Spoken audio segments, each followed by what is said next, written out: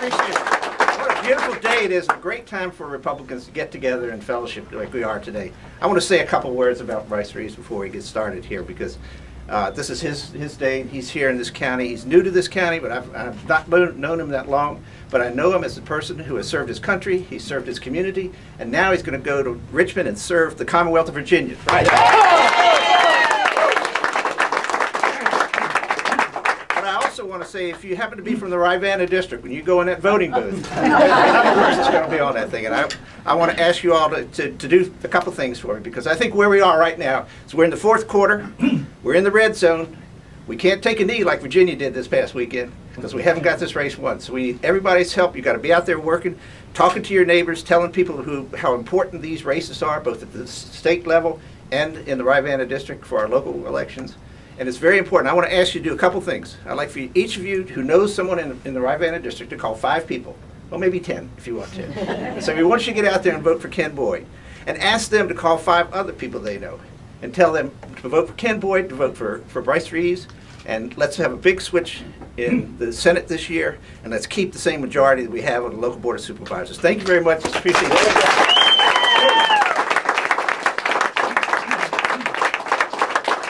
Ken, thank you so much for your uh, service, and, and, uh, and and as, as Ken said, the, uh, the elections uh, that we have at a local level uh, with uh, Jim Norwood and Ken Boyd are so vitally, vitally important to the future of, of Albemarle County. I thank Ken for his leadership, and, and I'm proud to support him and, and, and look forward to his, uh, his reelection, but it's not going to be easy. It's not going to be easy. We have got to turn, uh, we got to turn out all the forces uh, in the next uh, couple of weeks to make sure, to make sure that we don't uh, go the, the, go, go the wrong direction. We want to go the right direction. We want to continue building on the successes that we've had. Um, I want to thank Rachel for, uh, for, for, for putting this together. Jordan and Anna Parrish, I know, uh, worked together to put this together uh, uh, this morning. I want to thank everybody who is here today. You know, it's hard to believe that about a year ago, we were doing the same thing here at this old bank with nothing in the safe. We got the pumpkins out front. We know it's an an election's coming. We know an election's coming.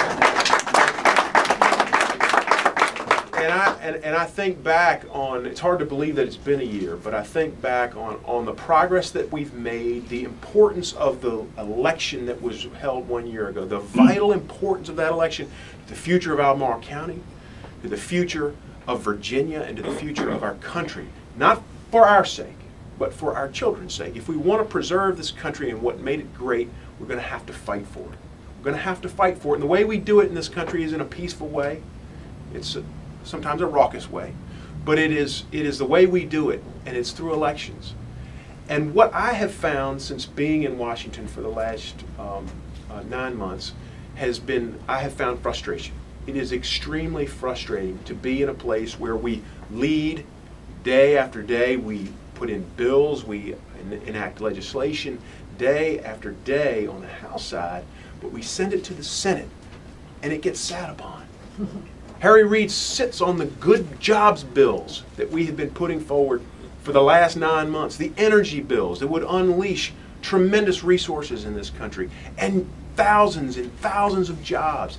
That's what the frustration that we have there. We have been met again and again with, with silence in the Senate and no leadership. With all due respect to the president, no leadership coming from the White House. Well, the same thing has happened in, in, in, in Richmond, where year after year, for the last several years, we've enacted good bills in the House of Delegates with the leadership of Rob Bell and, and, and others, and watched those good bills go to the Senate and be met with silence. That is the problem. now, how are we going to fix it? What I have realized in being in Washington it, for the last nine months is, is, and I think we've all kind of gone through this process after coming off of such a huge win in November, that this is not an election or this is not a time where one election is going to make a difference. We have to win this year. We're going to restore sanity to, to full sanity in the, in, in the Commonwealth of Virginia. And we need to win next year. And this is all part, I think, of, a, of, of the larger battle to regain, uh, to regain this country's uh, preeminence in, in, in, in, in the world, restore us to the greatness that our founders left with us. So that is why it is so important that we work in the next couple of weeks to elect Bryce Reeves to the Virginia Senate.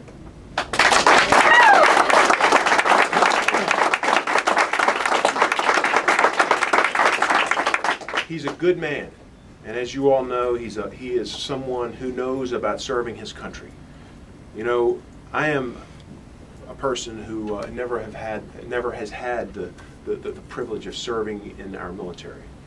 Um, but to those who have, like Bryce Reeves and many of you all here, uh, I can't think of any greater uh, love or commitment to one's country, to what the principles one believes in, than service to, to, to your country uh, as a member of the armed forces. And we take for granted, we take for granted the freedom on this beautiful October day. The freedoms that we enjoy here are purchased as, as, at the price of those who sacrifice for us in places far, far away, far, far away over the ocean.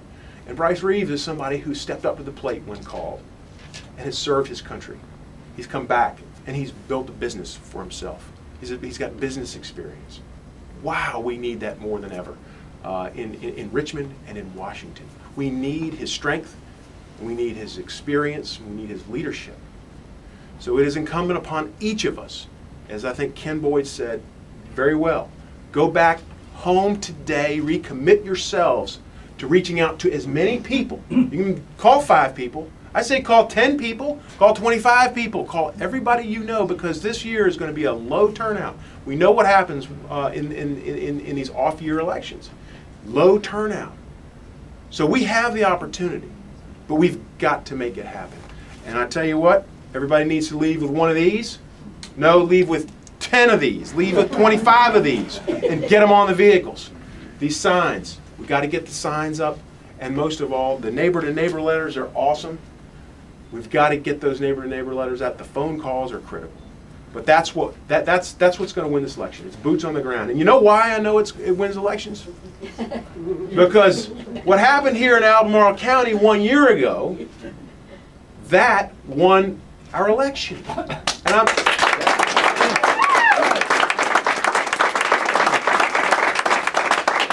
and, and in, in many respects, the critical importance of Albemarle County in our election is in, in, in, in, in 2010 is the exact same dynamic for Mr. Bryce Reeves.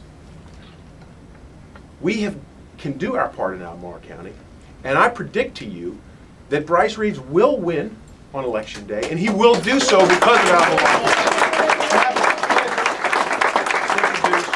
Our candidate, Bryce Reeves. Yes. Good morning. Am truly honored, I'm humbled to be here. I bring you a message from the front lines. As an infantryman, uh, being the messenger, taking it back to you all. Uh, We're winning, folks. We're winning because of folks like you. Uh, When this election's over with, we've been on the march for 24 months. That's two years. Two years to unroot a 28-year entrenched incumbent. When we started this election, we heard, I don't know. Let me tell you what we hear now. Go Bryce, go. Yes. Go Bryce, go.